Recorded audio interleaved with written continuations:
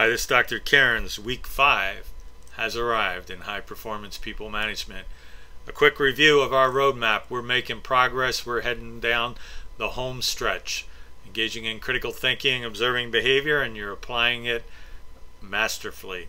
And I look forward to your applied organizational diagnosis paper of an organization of your choosing. My desire for this course to have a positive life changing experience for you is a continuation.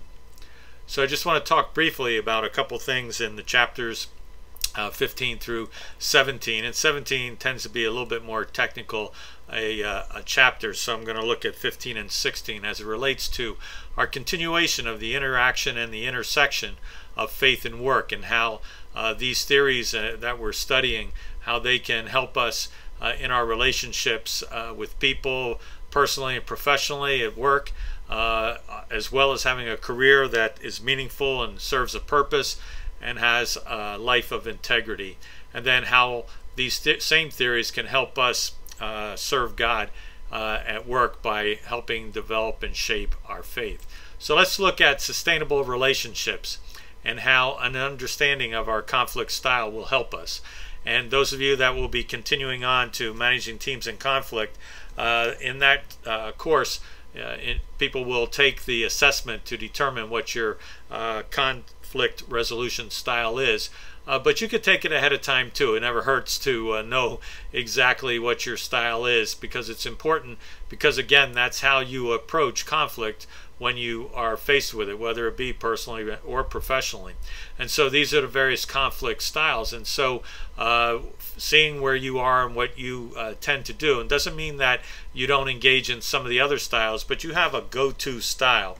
And so an aspect to think about in terms of how my faith may intersect uh, intersect with uh, conflict resolution, I could look to Philippians chapter 2 verse 4 where I need to focus on the interests of others, especially when it comes to uh, negotiating other sorts of things. What is it that uh, someone else is seeking? And so if I can seek to satisfy those, I'm going to resolve conflict, I'm going to uh, resolve issues and problems. And then the things that I say uh, could either light a fire or help put one out.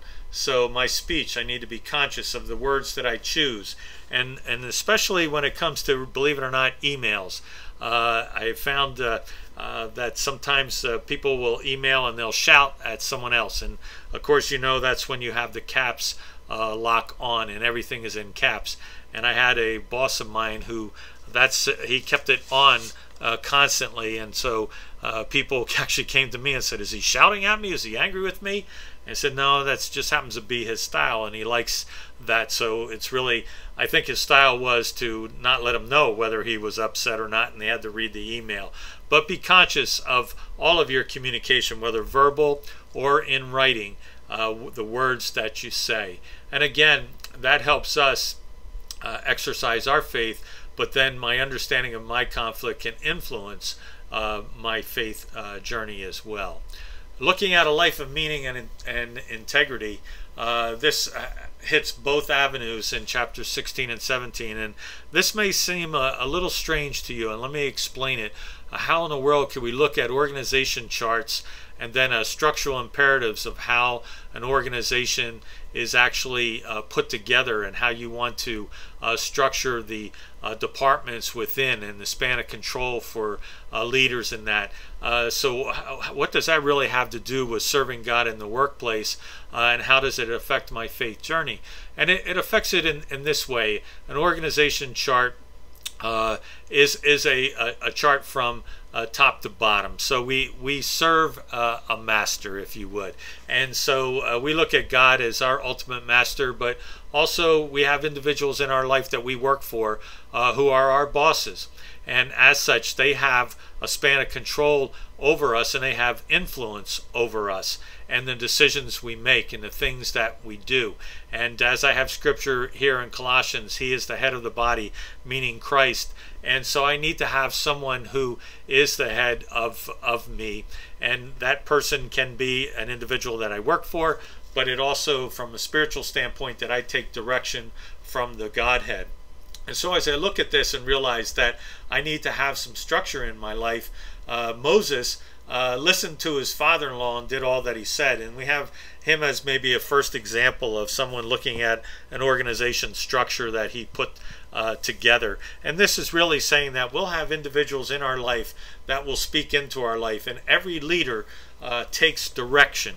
And that doesn't mean that uh, they're they're not uh, make their own decisions. What that means is that regardless of whether you're a CEO, the president of the United States, that you take in uh, direction from others in terms of the things that they say and they speak into your life and the guidance and direction that they give you and you listen to it and you heed it and you consider it and you process it and you don't just you know do it blindly but you have individuals that will speak into your life that will hopefully direct you in the right path that you should should take. And so I also want to call upon God because he's going to reveal things to me that uh, humanity may not. And, and this is one of those avenues that I found sometimes in a secular environment when I might be praying about a decision or something that I needed to do. Uh, sometimes I didn't necessarily communicate to my bosses, you know, I'm, I'm, I'm waiting on God to tell me what to do. Uh, but because they're expecting me to make a decision. And in that action, though, I am uh, expecting God to, to influence uh, the things that I do. And then we have, you know, where again, this speaks to that direction. So, who are the people that you have in your life? And do you respect them? Uh, do you bring people into uh, your circle that will speak truth to you?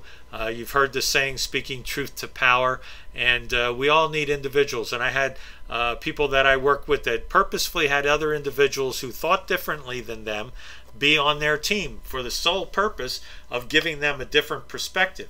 Now, the interesting aspect of that was that they didn't always follow or make it easy for that individual to express their opinion about something. So uh, just keep those things in mind that uh, you, you may put people in your life, but are you allowing them to speak into your life uh, and providing direction? And again, we see a board of directors. Who are the board of directors uh, in your life? Consider those aspects uh, as well.